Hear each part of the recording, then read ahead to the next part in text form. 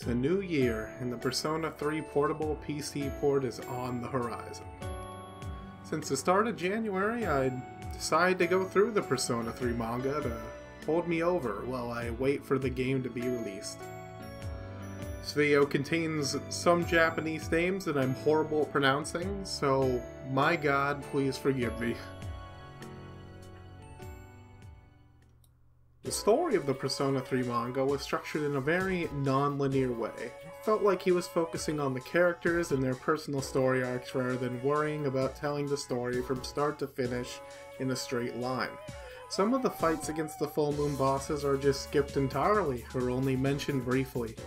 It does get more linear towards the later parts of the story, but everything from the start of the game to defeating the 12th Arcana is very non-linear and jumps around a bit. Now, because of the way the story is told, I would strongly advise against anyone going this route as their first experience through the story. The best way to experience the story for the first time will always be just playing the video game. The author also includes little notes and comics in between some of the chapters. Some just say how excited he is about Persona and a few silly things and some of his little comics just poke fun at himself like this one here. He also has this big explanation slash apology the end of Volume 6 where he says why Persona 3 was delayed for two and a half years? Which says that he was publishing Persona 3 in Denki magazine, and because of its popularity, he was doing the Persona 4 manga in their quarterly magazine at the same time.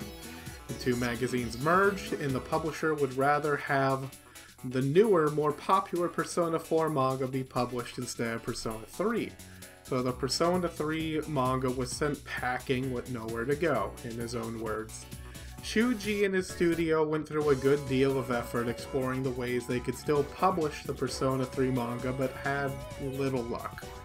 It wasn't until Persona 4 the animation, Persona 4 Arena, and Persona 4 Golden all coming out in close proximity of each other that Persona its own magazine due to increased popularity.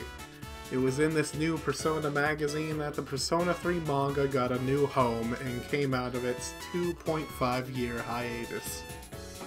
Damn.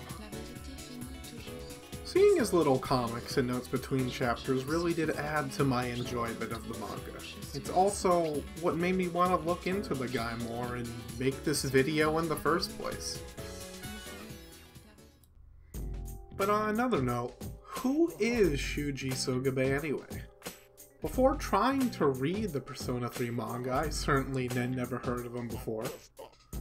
If you go looking for his name on sites like IMDb, MyAnimeList, or Wikipedia, there isn't really a very complete page about what he's worked on. His blog is currently suspended and inactive at the time of making this video.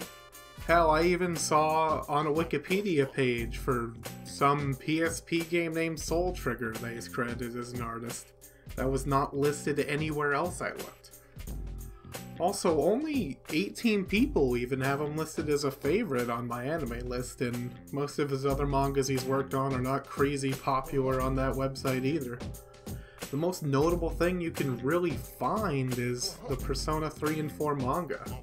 IMDb does seem to credit him for working in the animation department of the first Persona 3 movie, as well as the art department of Persona 5.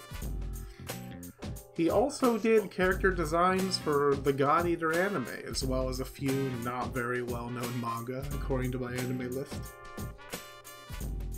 Maybe one day I'll try to access that blog of his through the Wayback Machine in a future video. Someday. When it comes to him being an artist, too, these covers he's made for the manga are just excellent.